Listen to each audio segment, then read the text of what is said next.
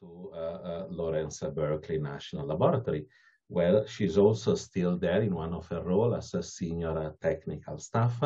Uh, but since 2015, she has also been uh, on the faculty of the Department of Material Science and Engineering at UC, UC Berkeley, where she's now a full professor there.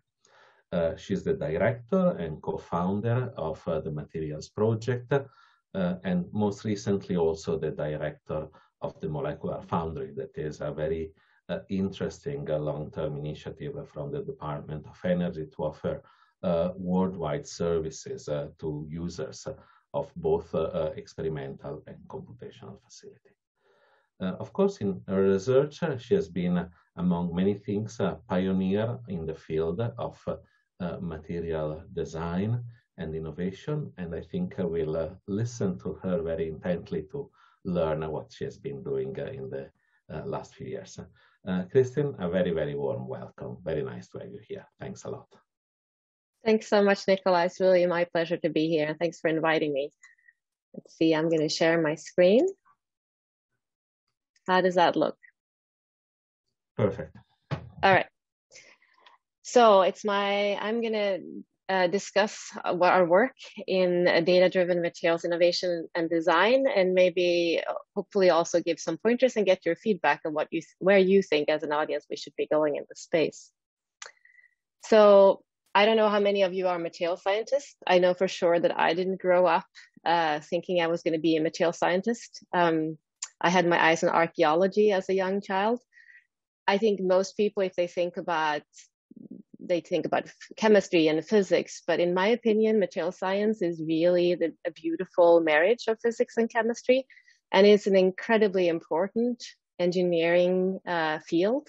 If you think about our, our, our society, what we need, what where we need to go, we wouldn't have our touch screens and our phones and our computers, which has enabled us at least to stay in contact with each other during this pandemic. If we didn't understand transparent conductors, and if we didn't know what defects do to light transmission for our internet age.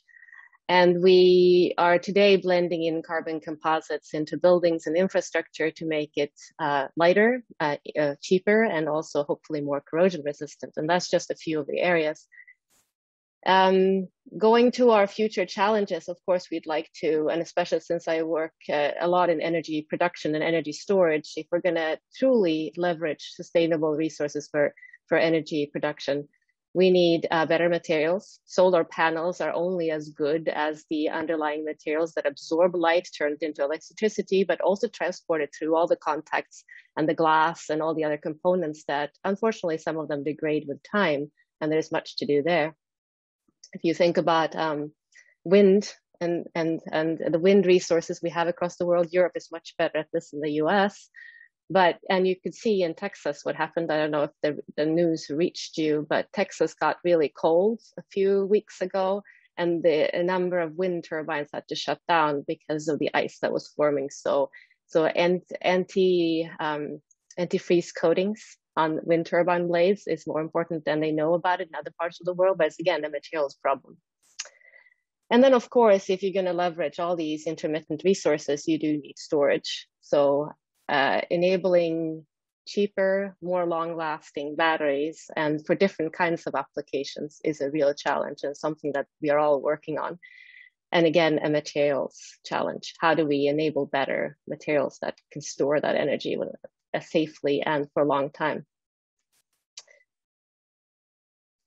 Unfortunately, material science is not for the faint hearted it takes a long time from a material that that you in, that you invent.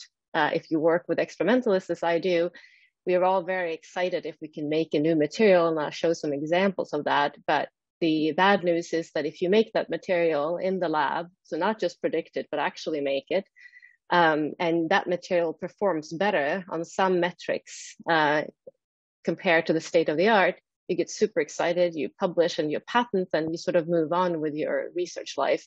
That's when the clock starts, and it takes on average 15 to 18 years if or before that material makes it commercially. Um, so this is not something that the venture capitalists like to invest in. It's a very long-term game, and in order to accelerate it, there is one thing we can do, and that is add more data to the problem. Uh, it's been said and documented both by the Department of Energy here in the US and by former presidents of the MIT um, that if we had more information about materials up front, we'd be smarter about choosing which ones to push towards commer commercialization because it typically that long timeline takes from engineering away all the problems that exist with them. And we tend to focus only on a few metrics of importance when we, when we go after them in the lab. So data data is really the centric uh, um, sort of topic of my talk. And if you Google data and materials, actually one of the premier pages that comes up in Wikipedia is materials problems or data problems in material science. And literally this is, well, almost verbatim from Wikipedia that we engineers spend hours trying to find property data of materials. It's not cataloged anywhere in in in a free resource. Uh, most of the time it's like there are there is data available in companies uh, but it's not freely available. Um, it's typically not across fields and there's very little opportunity of doing structure and chemistry correlations across different chemistries to try to come up with something better uh, material scientists often find themselves duplicating existing test results again because we don't know about data that's out there we can't find it um, there are several design iterations due to outdated or inconsistent data. If you only find one data point in the literature, do you trust it? Do you have enough provenance to decide whether it's a good data point? And it can take weeks to more than that to trace the source of the data to support the design process. So let's, ima let's imagine that you uh, are trying to design a new thermoelectric material, to take an example. And from a physicist's point of view, this is about understanding how the electrons and the phonons are transported in your lattice and you're, you're, you're happily calculating electronic structures and you're, and, you know, um, things like the ZT to parameterize and how, how good this material in its bulk state is. That in itself is a data challenge and to correlate those kinds of properties across chemistries and structures. But then imagine also having an eye towards where this material is going to be useful in a thermoelectric device, where it's now going to cycle between different kinds of temperature. It's going to experience thermal expansion. It might lose contact. And there's numerous of examples in the literature how the performance degrades of these materials, even if they look great on the bench before you put them into a device. So spanning these, this property space from the bulk electronic structure and the thermal properties of the material to actually its implementation in the device and understanding those thermal as well as mechanical properties of materials is a fundamental challenge. And we still today do not really have the data resources to fully explore that space to drive innovation towards materials that have a greater chance of making it. And it would be great, right, to be able to capture waste these waste heat more uh, efficiently. Also, I can't have this talk without mentioning machine learning and AI. I, I, think every student I get these days wants to do machine learning, and and and when and that's awesome. It's a great new tool. Um, but I tend to liken machine learning algorithms as that beautiful shiny Ferrari that you'd love to drive. Unfortunately, you also need fuel to drive that Ferrari. And that fuel is the data. And that's actually the hard part in many cases, generating, organizing, and featureizing the scarce, scarce amount of data that we can still find in material science or producing it yourself, which is a lot of work. So um, if you want to do machine learning, you first have to do data and that can take up to a year to produce or, or catalog or, or, or find the data that you're looking for. That being said, this is what we want we really want to have accelerated learning, but we need to carefully think about the tools we need in order to get there. So from my perspective, as Nicola mentioned, I come from Sweden. I did my PhD in Stockholm. And when I was there as a young graduate student, and I'm sure many of you are also graduate students who are listening to this, I had no idea that density functional theory was going to be one of the vehicles through which we could actually add more data to our data hungry materials world. In 1996, I, I was a first year graduate student and I spent a whole year on calculating the phonon dispersion curves of tungsten. So one element, one property, one year. Now that's because, you know, I had to parallelize the plane wave code. Thankfully, the plane wave code and the linear response code were written before I came there, but that had taken the whole the whole PhD of previous students to do that. Um, so I was resting upon on the on the or I, on the shoulders of giants who came before me. Still, though, there was some work to be done. The pseudo potentials that we usually take for granted today, I had I had to I had to parameterize it myself and parallelize these codes. And eventually, after one year of hard work, we got the phonon dispersion curves of tungsten and how they changed with pressure. Okay, so now fast forward about 20 years, 25 years, it's truly been a paradigm change.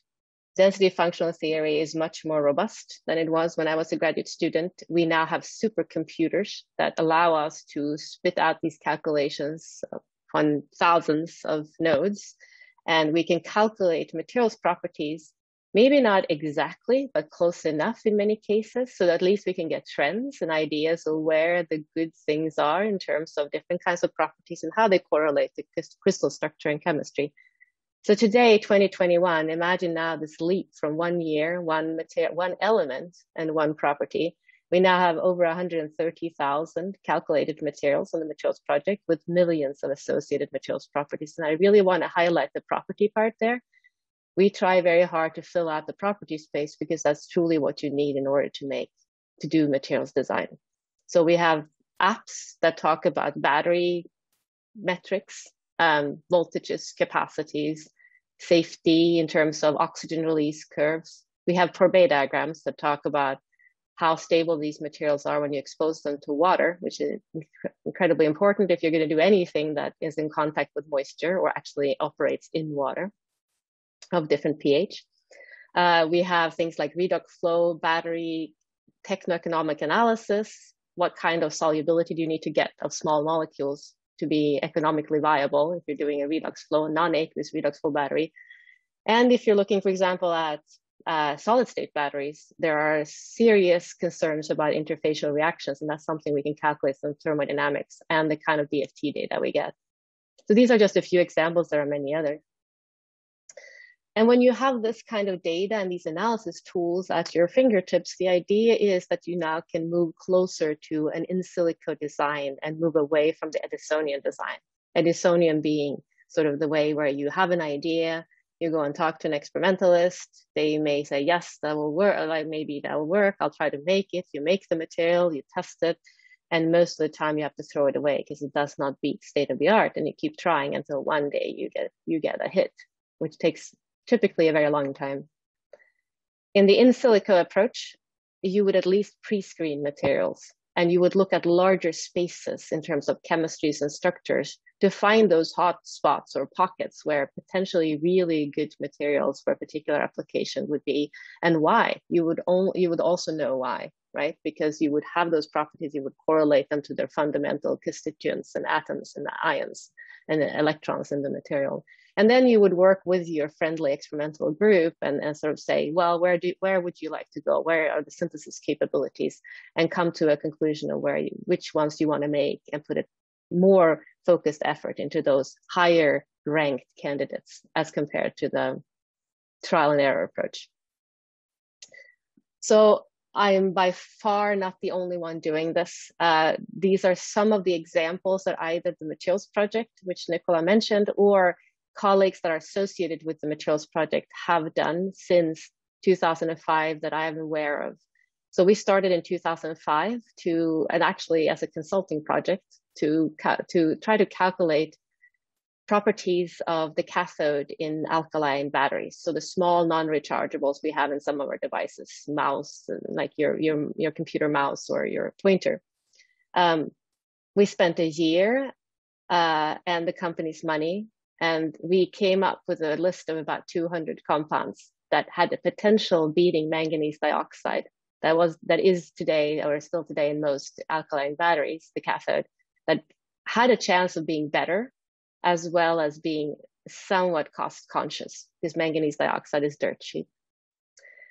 I'll, I'll get back to that story. Uh, this really gave me the, the, the, the, passion I have today for doing computational data driven materials design because I saw that this could work. It was really exciting to me. And after that, this sort of took off uh, from lithium ion electrodes to uh, conductors to magnesium cathodes, photocatalysts, thermoelectrics, piezoelectrics, LED, and all of these materials that I mention here and that I cite are materials that have been predicted in the computer first and then made, synthesized, tested, and found to work as predicted. So they're truly examples of computational design. Now, in 2019, I'm proud to say that after a long time, um, so 14 years uh, from 2005, uh, Duracell is now blending in one of those 200 materials that, that we predicted.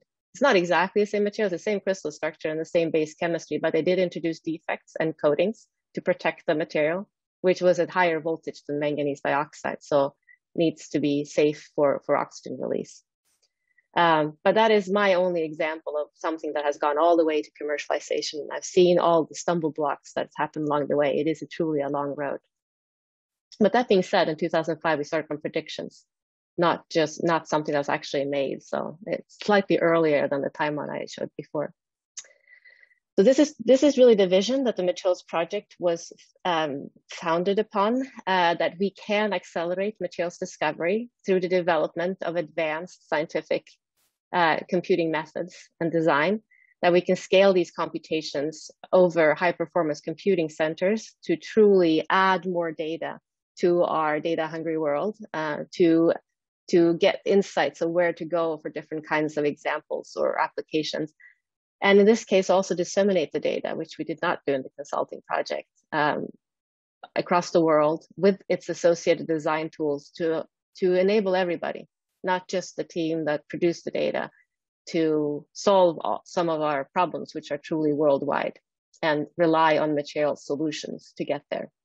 So these are the four fundamental pillars of the materials project. We produce in-house code in order to organize and to enable the, the scale up of all these calculations. We uh, save that data into a database, which we make available through an API to disseminate it both through our website as well as, you know, you can, you can use the API directly to download our data for free. And then we showcase design in a few examples to show what can you do, what are the different ways that you can slice and dice this data and analyze it to actually come up with better materials in different, in different ways. So I'll give you an overview of all these pillars, um, and but I, I can't go into depth of all of them. So hopefully you get a flavor of of all the work that goes into producing this data, organizing it, and then the fun part, which, which is designing novel materials with it, and maybe where the forefront and where the challenges still lie today. So the materials project has a few in-house codes that we've developed since the very beginning. The oldest one is PyMatGen, Python Materials Genomics uh, that really is the input and output code. It allows us to generate thousands of input files for a particular class of materials that we want to investigate and their properties. Um, for the different kinds of, of software packages that are now available that was not really truly available when I was a graduate student. So VASP, uh, Quantum Espresso, ABinit, depending on what's your flavor of DFT and what, what do you want to calculate. It also helps you uh, analyze the output. So once the output comes from any of these codes, PyMatGen turns that into band structures, phase diagrams, all the sort of engineering properties. You don't have to be an expert in, in computational materials design to understand the output.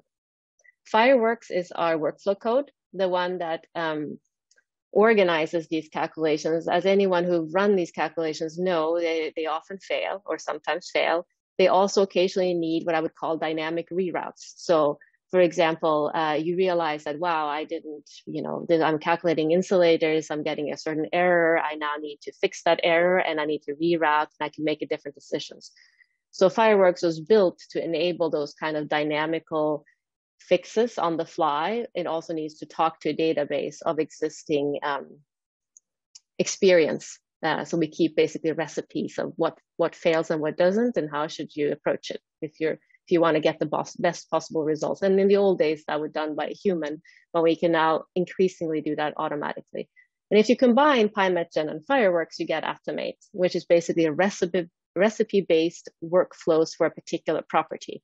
So, for example, the three line of code can now enable you to run DFT calculations for thousands of materials using Atomate, for example, for the piezoelectric tensor, for the dielectric tensor, across insulators, metals, semiconductors, different kinds of materials that need different kinds of input parameters.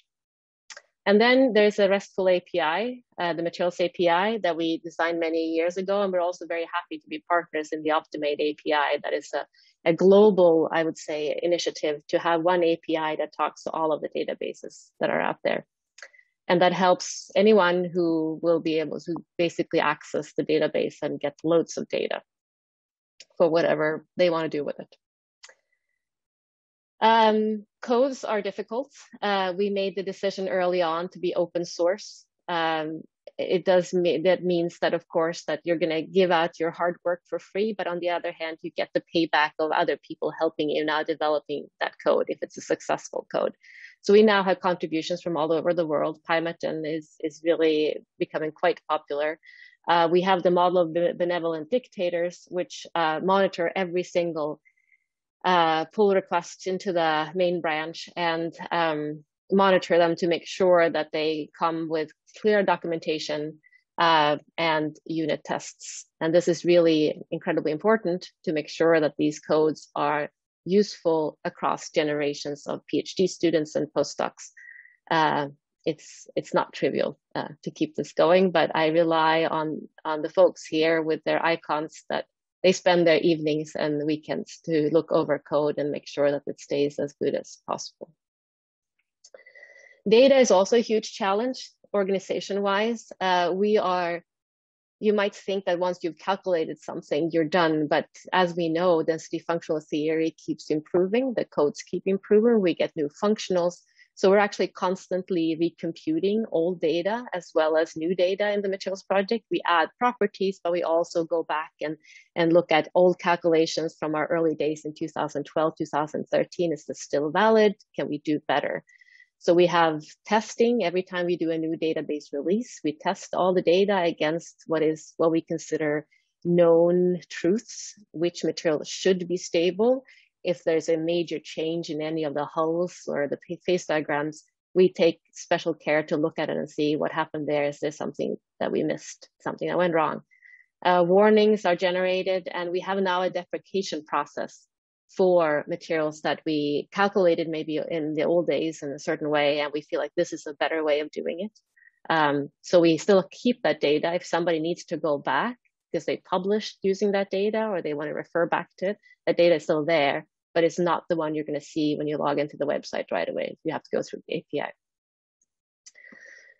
So now if you have a student or your postdoc or whatever is coming say like, I want to do machine learning on new dielectric materials or new elastic materials with specifically exotic elastic properties, and you tell them the bad news that first they have to generate the data. This is the process they have to go through they first have to design a workflow using PyMatGen and Fireworks and, and an Atomate workflow in that case that is robust enough that if you set it out for any kind of material, whether it be, a, you know, containing heavy elements, insulators, semiconductors, whatnot, the workflow has to be robust enough to pick out the right input parameters for this particular chemistry. And you test that workflow on what we would call the gold standard. And what is the gold standard? Well, that is still experiments, right? So now you have to curate from the literature. This doesn't exist in any one place, the properties you're looking for. In the case of the elastic tensor, we found about 200 full elastic tensors in the open literature when we started this project many years ago. Um, so that became the gold standard. We curated that set and we tested our workflow against those 200 uh, tensors and once we were within plus minus 15% of reproducing those without any manual intervention, we thought we were good enough. And that's really as, as, as good as you can do, right? And then you have to trust DFT to be consistently right or consistently wrong. Um, and after that, here be dragons. You go and calculate the rest of the world. So then you get like uh, cool. So you can, if you're today's youth, you go and tweet all your, your great results or you post it on Facebook. Um, uh, so today we have calculated over 14,000 elastic tensors are available in the materials project. So it's by far the, by orders of magnitude, the largest resource for understanding how materials behave under deformation, which is such a fundamental property and important in many applications. So that hopefully gave you an idea of how much work there sits under the hood of producing this data, of organizing it and, and, and, and, and disseminating it. So I'll, now I'll talk about the more slightly more exciting part, which is the design. I'll give three examples, uh, and they all are slightly different in magnetocalorics, piezoelectrics, and water splitting photocatalysts.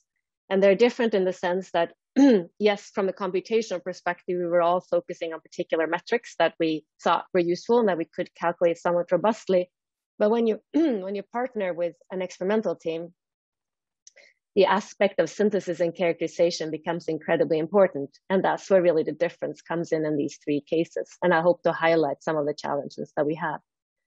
So if you start with the magnetocaloric materials, this started a few, many years ago when we thought, well, the materials part doesn't really have a good uh, body of, of, of, work on magnetic materials. They different conf magnetic configurations. We most of our materials were just initialized with ferromagnetic magnetic ordering. In some cases, we knew of, of antiferromagnetic. We'd done it for the binaries, but that was pretty much it. So we thought we absolutely need a workflow for at least collinear magnetic behavior. So that was designed and benchmarked against the best quality neutron data we could find in 2019. Um, that's been dis- that's being continually disseminated as this workflow keeps running on all of the materials. It takes quite a while to actually chart out all the possible, or at least not all the possible, but a good chunk of them, uh, of the magnetic orderings that for any single magnetic material. So we also thought that in the same time we should look at something, a cool application of this. So magnetocaloric materials seems to be a good good um, space. We were fortunate that um, another group at UC Santa Barbara, Ram Seshadri's group, had all been interested in magnetocaloric materials and had been looking at them for a while. Magnetocaloric materials are materials that start out in, a, for example, a ferromagnetic configuration, and if you apply a, a field uh, to these materials one way or the other, you can switch them from a ferromagnetic to a non-magnetic state. And with that switching comes associated, of course, and magnetic entropy, but also sometimes other kinds of entropy if that magnetic transformation also couples to a structural transformation. That entropy is, of course, now also associated with a change in heat. So you can now cycle these materials using a, a magnetic field and, and, and basically trigger them to, to um, absorb or desorb heat. So think of them as basically solid state refrigeration or, or heat absorbent uh, materials.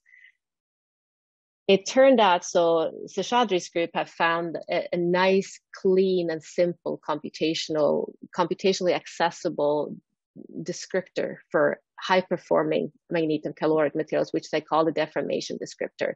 It's basically calculating the volume difference, which is, you know, crude, but very, very, very useful and not that hard to calculate, the volume difference between the ferromagnetic state and the non-magnetic state and taking that as a descriptor of what is a good performing magnetocaloric materials. And they plotted that descriptor you see on the bottom axis here against known experimentally verified change in entropy for some of the magnetocaloric materials that's been st studied in the literature. And you can see there aren't that many, but there's a nice correlation between the descriptor and the performance metric.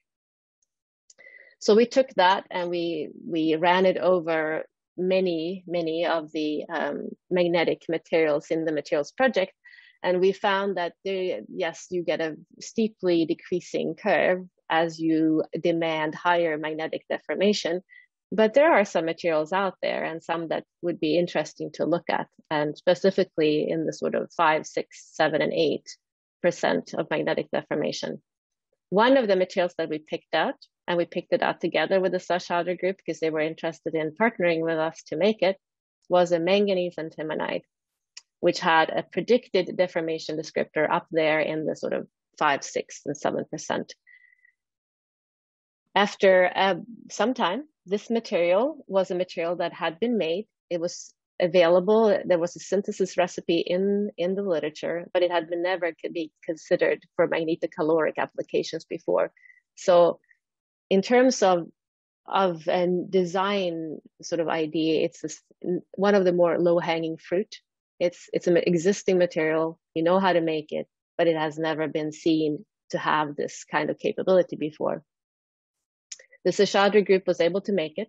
You can also make it off stoichiometric. And our computations showed that if you included more manganese into this material, you actually what you created interstitial manganese, and that interstitial manganese decreased the magnetic uh, deformation. It actually went antiferromagnetic, so you get less of magnetic response from the material when it when it, it's collinearly in one direction. Um, but it also allowed you to tune the temperature at which this material switched. So we had now a nice way of tuning by chemistry the the actual onset of the switching for this material, which is sort of a, a, good way of making it into a material that can perform at a particular target temperature. On the other hand, of course, the, the, the magnetic deformation decreased, so there's slightly less response. But overall, a, a, a good example of how you can pick out one material out of 5,000 and actually get a material that performs uh, according to the predictions. I'll take another example. This is from the, uh, our calculations of the piezoelectric tensor that started earlier in 2016. Uh, in this case, we had much less to test on. We found 50 experimental tensors in the literature that we could test our workflow for before we just have to decide to, to trust it. Um, out of those materials, we picked out one that we calculated. We calculated over 900 in the beginning. Now I think we have something like 3,000 piezoelectric tensors on the materials project. One of the ones we took out was a strontium hafnium oxide that had a predicted high piezoelectric response and that as far as we could tell had not been seen before. But the, this is worse, this material was worse news than the manganese antimonide. If you put in strontium hafnium oxide in the materials project, you get a list that looks a bit like this, where the green field, green shaded polymorphs are the ones that are seen experimentally, and the non non um, the gray ones are the ones that are what I would call hypothetical or theoretical. They have not been seen as far as we know. The one that the polymorph we were looking at was this one. It's a theoretical polar tetragonal version of a perovskite, but it's competing with no less than five materials that are predicted to be lower in enthalpy, so more accessible by synthesis, and three of them have been made before. So this is a tremendous challenge. And it's only because we had such fearless collaborators at NREL, uh, one of the laboratories here in the US, um, that they said, "Yep, yeah, no, we we should be able to make this. We're going to use epitaxial templating to make this particular material." And now we also use our computations to try to guide them. Uh, epitaxial templating basically means you have a film, a substrate that preferentially stabilizes one material, one polymorph over others. And this seems perfect in this case because we really, really wanted to penalize those lower energy polymorphs versus the higher one that's never been made before. So by using our computations as a guide, we found that a strontium titanate doped with niobium would be a really good um, substrate because it would just strain those lower poly energy polymorphs more so they would get higher in energy and it would be perfectly suited for our strontium hafnium oxide.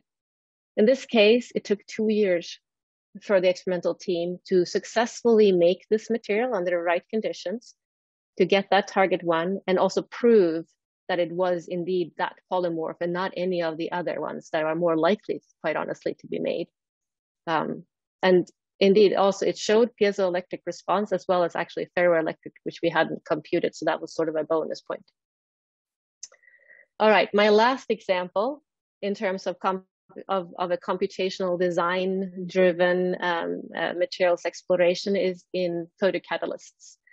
So this is the endeavor to use any of our feedstock, chemical feedstock, hydrogen, CO2, water, and turn it into, or any of feedstocks with water and CO2 and turn it into viable fuels, liquid fuels. Um, I joined the Joint Center of Artificial Photosynthesis pretty late in the first version of it. Um, and we were trying to see if we can use the materials project as a sort of um, um, a, a, a, machine for coming up with good suggestions. Where should we be going? Um, we were in this case looking for an oxygen evolution photocatalyst. And the criteria for a good photoanode is really you want a valence band maximum with it closely within the oxygen evolution reaction potential. So you want to generate those holes with the right energy.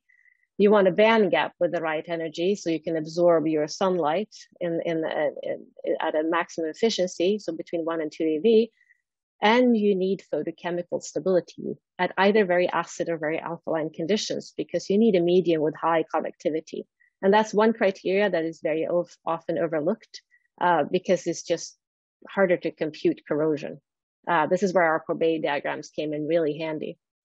So if you looked at the, in those days, the, what, what was the sort of state of the art for photo for, for oxygen evolution photocatalysts, the, the sort of semiconductor families that you see at the top of that table did pretty well on criteria number one. They did reasonably well on criteria number two, but they do pretty abysmally at criteria number three. They tend to corrode or form passivation films in when they get exposed to water. On the other hand, oxides tend to do better in water. Uh, they're more stable, but they they don't do so well on having the right band gap and the right band alignment. So we were going to use the materials project to see if we can find those needles in the haystack of oxides that came with a bit better stability a priori, but also had that right band gap and band alignment potentially. We didn't have a ton of time because like i said we were jo- we were joined pretty late so we didn't choose the whole periodic table and every possible crystal structure. We decided to limit our first search on chromium manganese and vanadium based ternary oxides. And if you just do that search from the materials project in those days you got about 3000 materials. Today i'll get a different number but the point here being that you don't have to calculate these. This is sort of a five minute search and that data is already there for you we screened those 3,000 for some sort of appreciation of phase stability. We didn't want something that was super unstable with a high enthalpy of formation because that seems to correlate with difficulty of synthesis. We also wanted a reasonable guess at that band gap, but as you know, DFT doesn't do so well in the band gap, so we had a really wide criteria there. That filtered our results down to 400. Again, we haven't done a single calculation yet. This is all just taking the data from the materials project. 400 that's when you think like okay maybe now we can do, do, start to do some calculations. So we did we used another functional that does a bit better on the band gap so we used that, used that functional HSE and now we could limit the the window acceptance for the band gap a bit more to get close to that target. And now we were down to 169 we now calculated surfaces and band edge energies and we screened for stability in water which is one of the big killers and in the end ended up with 47. So that's the magic number. 47 out of the 3,000 possible candidates that contain these kinds of cations and were ternary oxides. Now comes the beauty of partnering with somebody who has more of an automated workflow for doing the experiments as well as the computations. So John Gregoire at Caltech has this beautiful inkjet printing machine where he can make tons of materials at a single uh, as a single batch. Um, so giving him the 47 phases, he was able to, in a fairly short amount of time, make 17 of them through Combi. And here's the here's the great result: 16 out of those 17 showed photocurrent at the oxygen evolution potential. So they were actually 16 out of 17 had some sort of sign of life, and they were screened by computational results. And we were also now, because we had all the band structure information about these materials, we knew what they looked like from a DFT point of view. We could correlate those insights with the photocurrent and see what are the design metrics we should be going for? How can we understand and get even better at predicting novel photocatalysts? And it turned out that it was really about the sort of the vanadium um, 3D band character at the conduction band minimum and minimizing the oxygen character at the valence band maximum that those two uh, metrics correlated well with having the right band gap and the right band alignment. My last example, and I won't, this won't take long, um, is that you might think now that everything's successful, we just partner with our friendly experimentalist, even though it takes time, always great materials come out of it. That's not entirely true. Um, here's a beautiful potential magnesium cathode material that we predicted many years ago we published it. We've never found a single experimentalist who's willing to make it. Uh, if it was to be made, we believe it would be the fastest magnesium cathode out there. But it this is a crystal structure that relies on double substitutions of two cations. And whenever we talk to this, an experimentalist that's interested in that does solid state synthesis, they look at this thing, they're like, I have no idea how to make this. So that brings me to one of the challenges. And I'm sure you've seen the arc in my examples that we went from relatively simple to make. There is a synthesis recipe in the literature. It's an existing material, but with unknown properties to hypothetical materials that take years to make, and you're not even sure you're going to be successful, to automation where you can get more hit rates and hopefully do better in terms of, of, of finding something useful. So synthesis is one of our major bottlenecks today, synthesis and characterization, and we need to get better at this, both from a computational as well as an experimental point of view. We don't know today when we send somebody in the lab if what their chances of success are. And the synthesis methods are different depending on what groups you're talking about and what kind of classes of materials. Um, to try to get some handle on how to understand synthesis, we started with doing just statistics of the ICSD and filtering out all the materials that actually have been made and under what conditions. And we correlate that with our computed en energy or enthalpy above the hull, so in the phase diagram. So the dark blue bars on the bar diagram are basically is basically that statistics for oxides. And as you can see, it's again sharply decreasing trend. As you go higher in energy above hull or enthalpy above hull, you have much less likelihood of success because there are less known materials that actually have been made. So if you, for example, put your criteria at 100 MeV per atom on that bar graph, you capture 80% of all known oxides that have been made and that survive at ambient conditions. That sounds reasonable, 80%, not too bad, but you're missing 20%.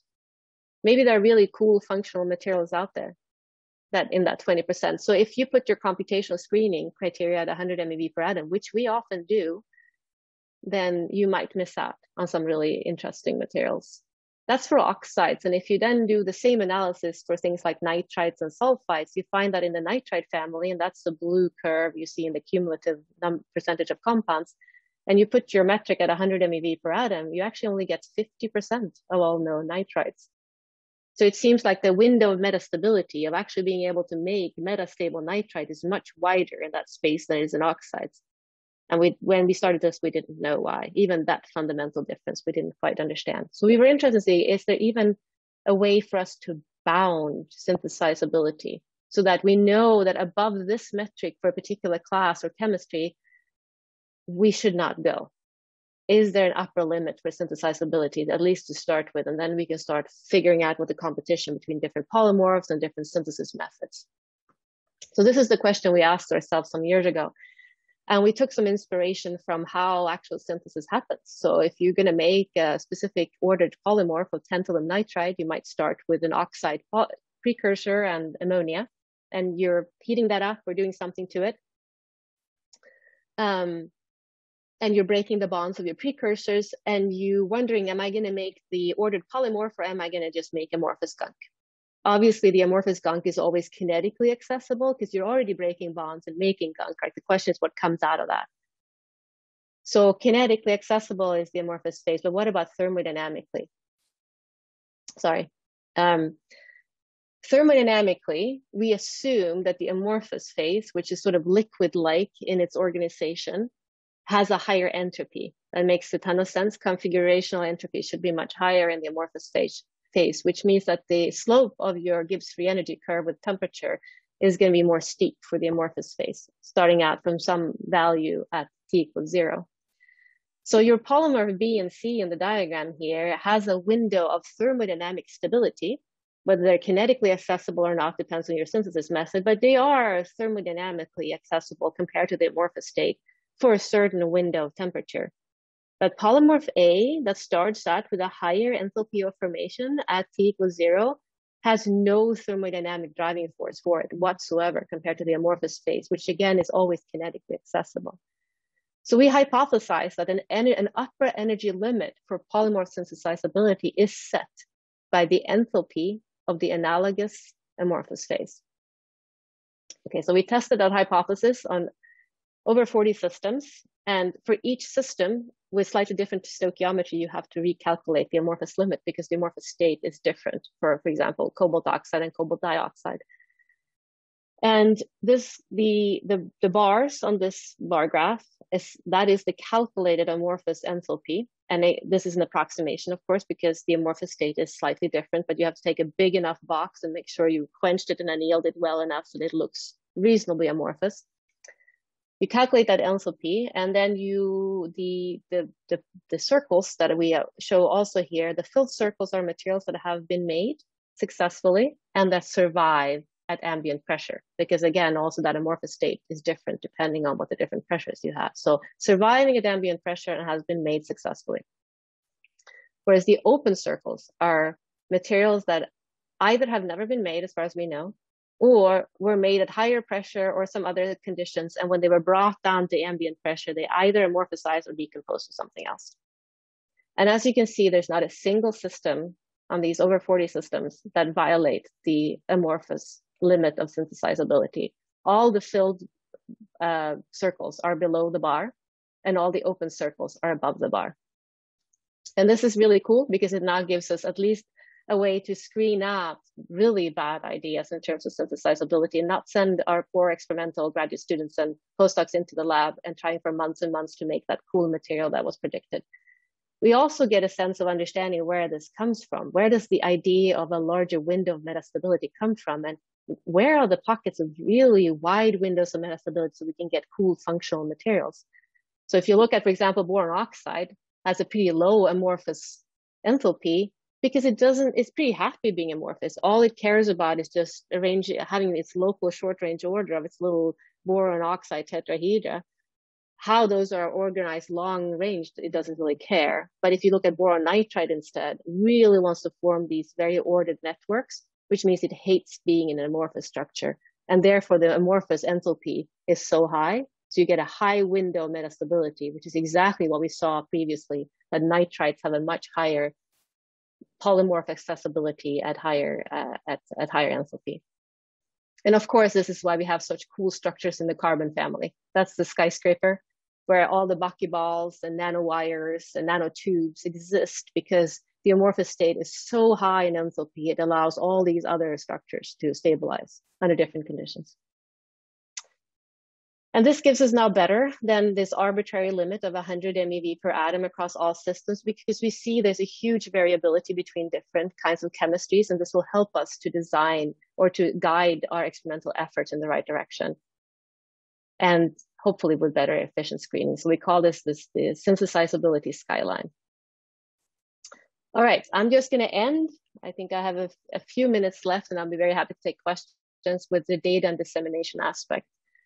So hopefully I've given you a sense of what you can do with data uh, to go into the design of novel materials and why that's so important. Um, today in the materials project, we have over 130,000 crystalline compounds with a lot of associated materials properties. And as you can see, we've focused a lot on actually adding properties rather than adding crystal structures to our database uh, from elastic tensors to dielectric tensors to piezoelectric tensors to battery properties. And we've even gone into experimentally uh, like aiding experiments experiments in characterization of materials. So we've calculated over 500,000 K edge XANES spectra. We've also calculated EXAFS and uh, L edge spectra, and those are coming. They're not available quite yet on the materials project, but they're going to come very soon. They're all computed to help us in recognizing local structure of materials faster and do data-driven characterization as well.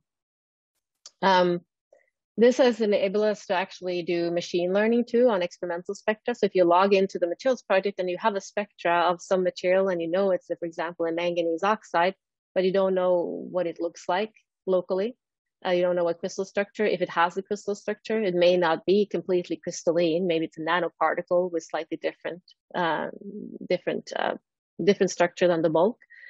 Um, you can upload that spectra and just add that you know it's manganese and oxygen. And now we'll use machine learning algorithms trained on the computed data, which we can correlate the spectra peaks and their position with the computed local environment of our materials and now give you a sense of what is likely to be your coordination environment for the manganese in your material and what is the valence state. As I said, machine learning is big, and because we're one of the largest data providers, if not the largest data providers in the materials property space, freely available, the number of groups and people that do machine learning on the materials project is rapidly increasing. We have on average one paper per day that cites the materials project and machine learning uh, and it's published. So one published paper per day, We also see that the community is doing great stuff with this data. We have examples of groups that have invented novel phosphor materials and super hard materials based on the data that we provide. And this is really great. This is exactly the vision of the materials project, that the data was going to be for the benefit of everybody to accelerate accelerate everybody's efforts into coming up with novel materials for uh, better applications and, and a better world.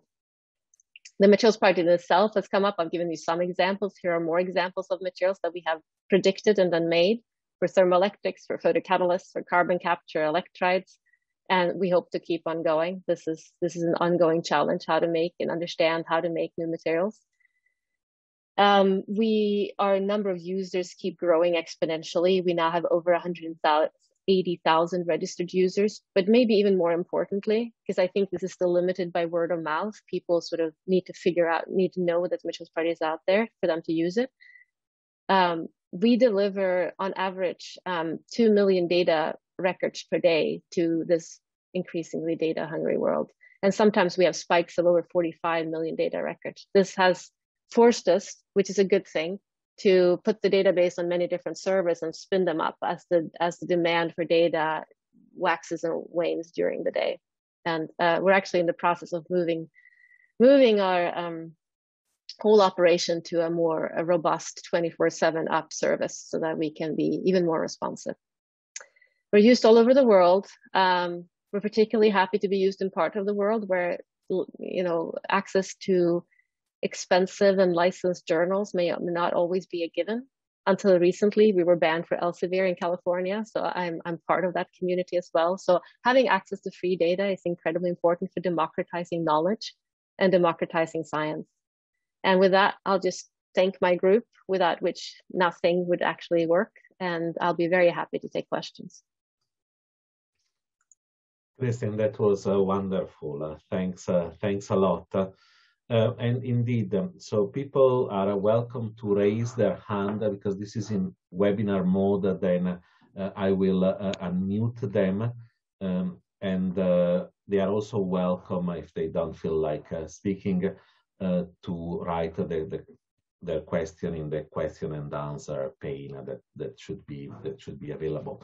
So while we get people, uh, you know, get set up and started with uh, raising hand or question and answer, uh, Kristin, I'll ask you first, uh, let's say, a question from a say a computational scientist, and that is you know, if you had, uh, let's say, a magic wand, but uh, a cheap one where you can only express one desire, but there is, you know, that thing that, uh, you know, has frustrated you since the tungsten time.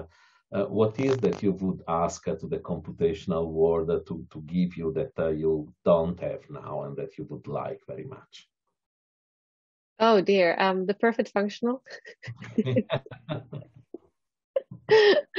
um, it's we're we're in, we're in the process of recalculating everything with SCAN and okay. it's been two versions of SCAN already and we are seeing improvements but of course it's not across the board. Some some spaces are better than others. So and how do you communicate that with your experimental colleagues that yeah. the world has different shades of accuracy depending on what you want?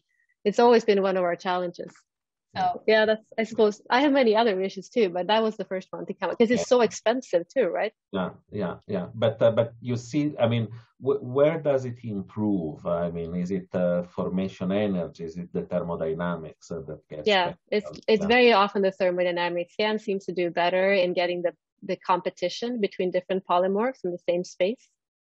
Yeah. And that's really important for us, especially thinking about synthesizability competition between po different polymorphs. If one is, as you saw in the strontium, strontium hafnium oxide example, how high you are above that ground state really matters whether we're going to send somebody in the lab or not. Yeah, yeah, yeah. yeah. Thanks, uh, Kristin. I have many more questions, but let me also, uh, we'll have uh, Jean-Sabine McEwen. So please go ahead. Uh, you, you are muted. Um, hello, very interesting talk. Um, I, you talked a lot about bulk properties. What about surface properties in the material project? Could you give a little bit of a flavor? Because that expands the computational space even more.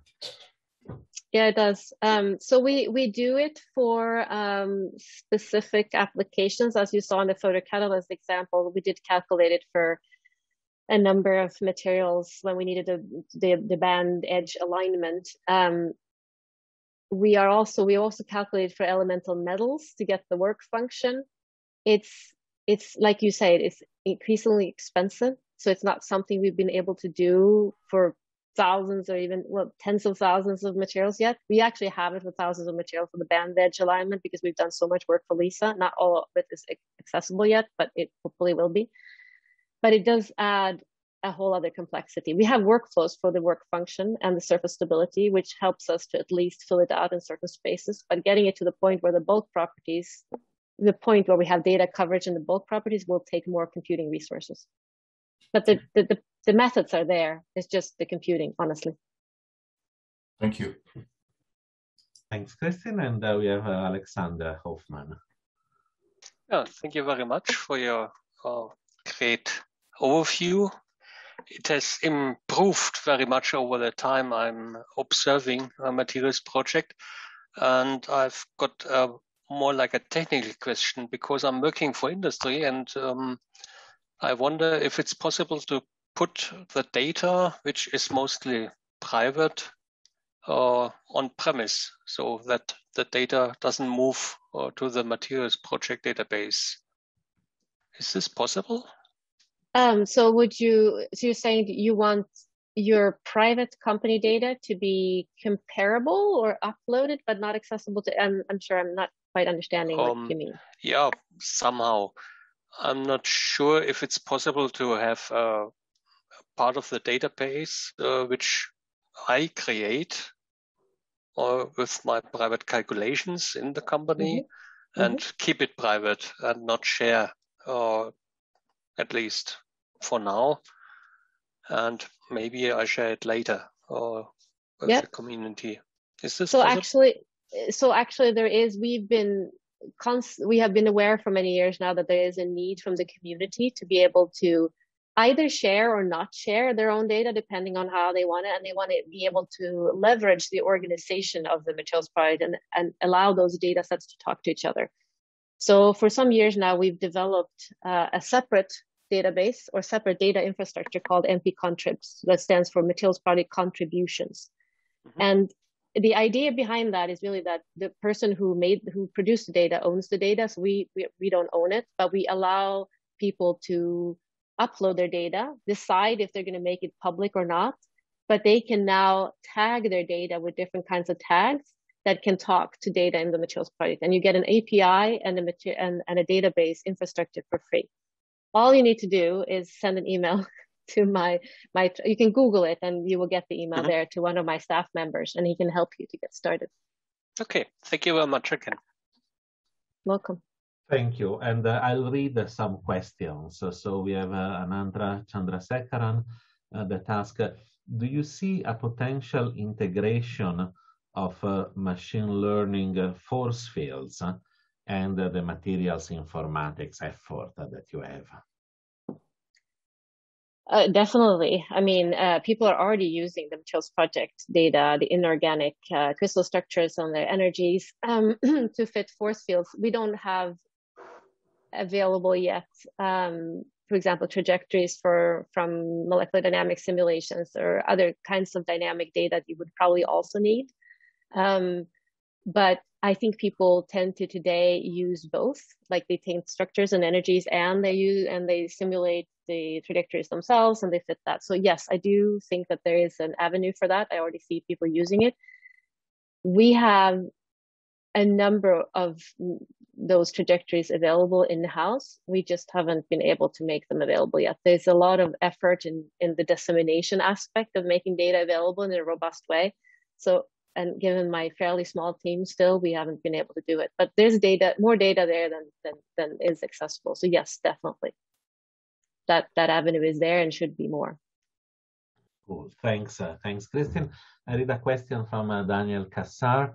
Uh, what kind of uh, machine learning algorithm do you use in your workflows? Uh, you showed a neural network in the slides, but I wonder if there are other algorithms that are also used.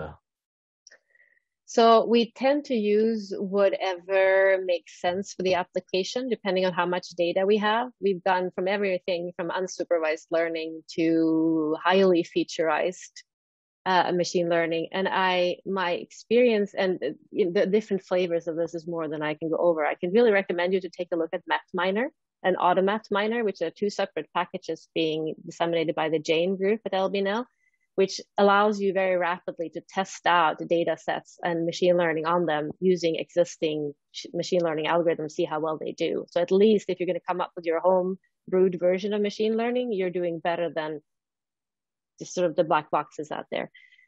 What we've found, if I'm going to sort of put the materials, our experience spin on this, is that given that the materials, the materials field still has limited amount of data compared to social sciences and weather data and all kinds of other things. Um, the more you understand about your data set, the better typically you can featureize it and pick those specific descriptors. For example, I just had a, a, a data set on NMR spectra. And, you know, we have like something like 3000 NMR spectra for silicon oxides. So that's a large data set from a materials point of view, but not a large data set if you're Google. And I had one student that tried to just out of sort of the black box, you know, okay, I'm just going to see if I can predict the, this, the, the spectra for these NMR, these NMR spectra or understand, or predict the coordination structure from the spectra. And he did okay, but it wasn't amazing. But then I had another student coming in who really truly understands NMR and he was able to construct the descriptor that was extremely sensitive to the local environment. And once he included that descriptor, suddenly the whole data set just sang. So I would say that a lot of the, the effort in my group is trying to use as much as of our understanding of what we're looking for and how it correlates to particular features to to make the, the machine learning algorithms do better.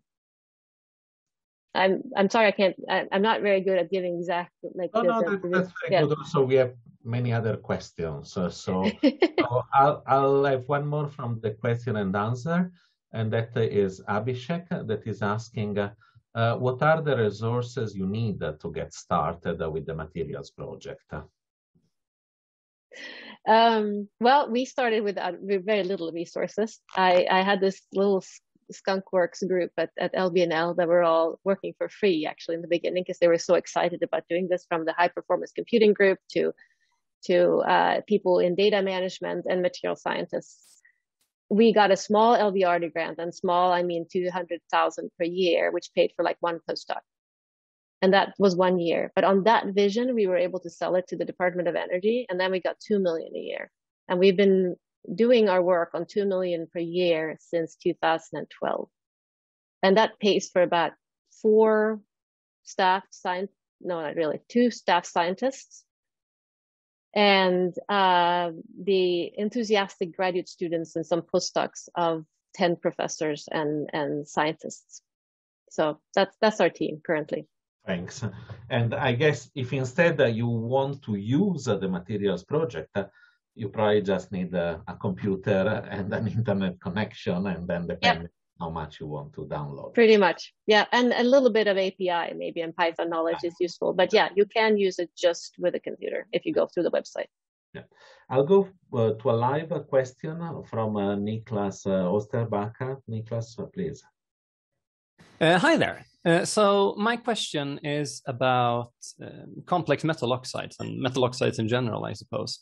Um, in transition metal oxides in particular, um, like titanium dioxide, for instance, um, excess charges tend to form polarons rather than being delocalized over the entire structure.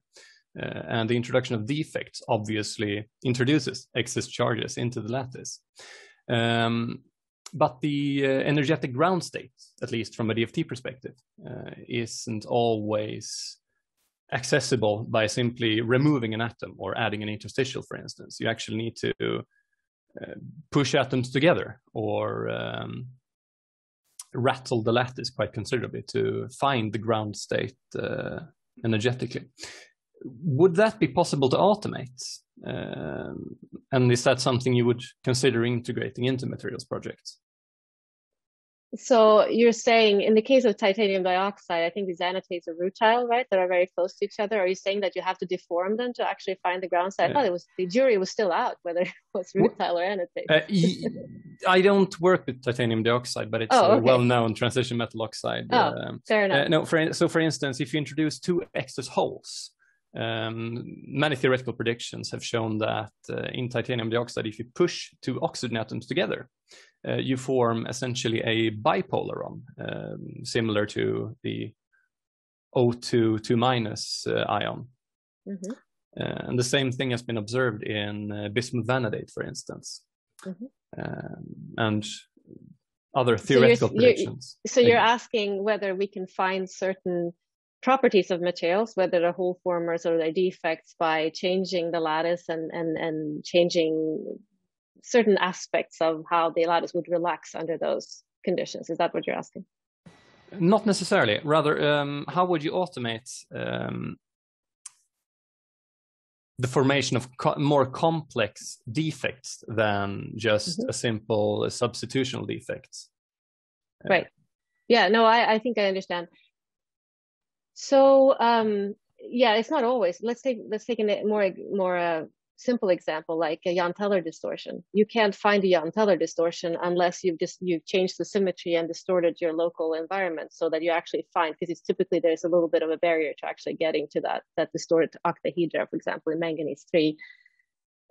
This is something that I would expect our experience. So if you're looking for those kinds of defects or you're looking for those kinds of local relaxations, you would have to, yes, automate the search for that by tweaking your local environment in different directions and seeing where there is maybe as original barrier, but you end up in a lower energy state uh, as you keep going in that direction. And I do think that's totally doable. It can be automated, but it's probably going to be a little bit based on what you're looking for. So each workflow would have to be tailored somewhat to what defect or what local environment feature you're looking for. So I do think it's possible, but you would have to sort of use some of your intuition and then start training or testing your workflow on the cases you know and see you can find them. So there is still a job market for actual material science. yes, uh, thank you, thank you, Niklas. So let me let me read some other questions uh, from uh, the, the, the panel. So Soxeya Mui is asking, uh, do you plan uh, in the short or medium term to include the entropic contributions to the formation energy so that you can do convex hull with the free energy at a given temperature uh, rather than just the internal energy or enthalpy?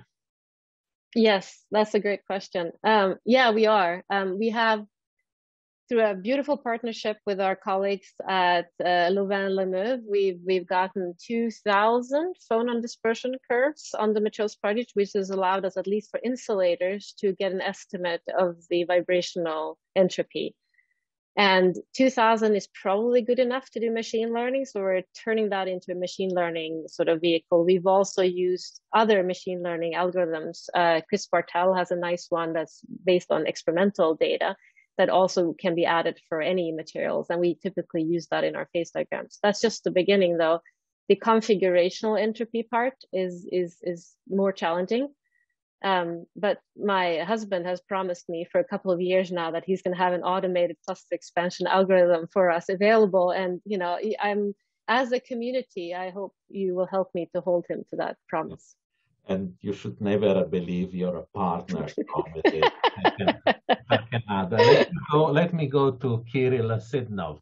Uh, is it planned to add uh, detailed examples to each uh, section in the PyMatGen wiki, uh, as it is done, for example, uh, for NumPy or the scikit-learn libraries? Oh, sorry, I missed the beginning. So yeah, examples, sorry. basically do you plan to add uh, uh, detailed examples to the different ah. sections of the PyMatGen wiki? That is a great suggestion, and I'll take it to the to Matt Horton in my group and Shyue Ping Ong, who are the two the, the two maintainers of PyMatGen. I'm sure they'll be very happy to hear that. That's a good idea.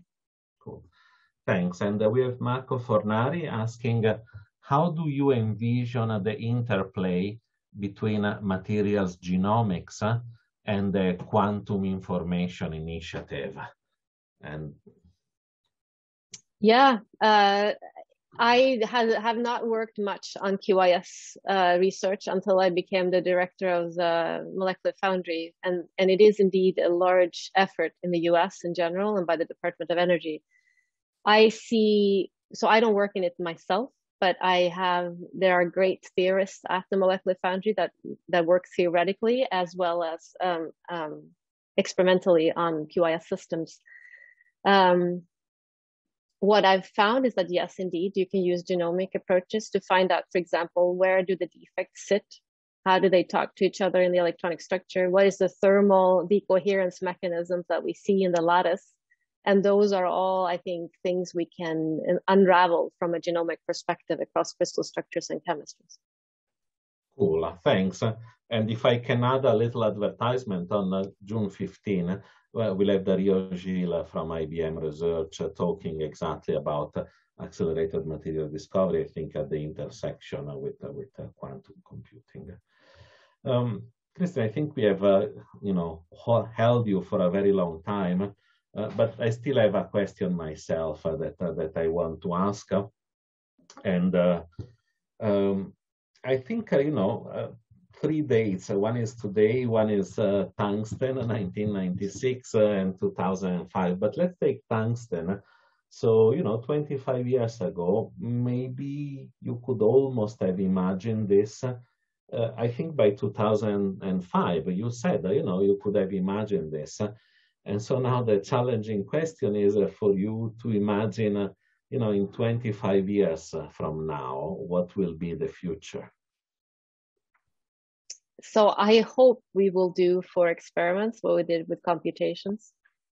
I keep telling whoever wants to listen that automating and harnessing and curating the amount, the huge amount of experimental data that we produce today and that we could be producing in a much more robust way.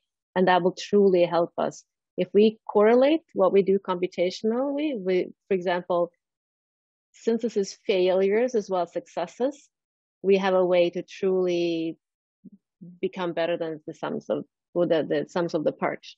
Because today we, we, we rely on experience and literature and literature we tend to mostly find just successes. We don't catalog failures and failures are incredibly important to understand what works and what doesn't to correlate thermodynamic and kinetic landscapes to synthesis routes, whether they work or not, and the different chemical potentials and different external influences will allow us to be more predictive and faster in what we should be looking at, not just predicting the most beautiful computational material ever and where the atoms sit here and here and here and i'd love to have that but maybe i can never make it but what can i make? And in- integrate that into our design vehicle. That's where i hope we'll be Wonderful. Well, you have an open invitation uh, for a new Marvel Distinguished Lecture in 25 years. we'll see. You, you uh, keep this, right? We're usually extremely bad at predicting the future, humankind. Oh, I, I, love doing it. there, is, there is no risk. Um, listen, thanks, uh, thanks a lot. It was uh, really a wonderful lecture. Thanks again. And uh, hopefully we'll see each other and uh, you soon in person. I hope so too. Thank you from everyone. Thank and you so much, everybody. Best and best of luck. Ciao, ciao. Bye.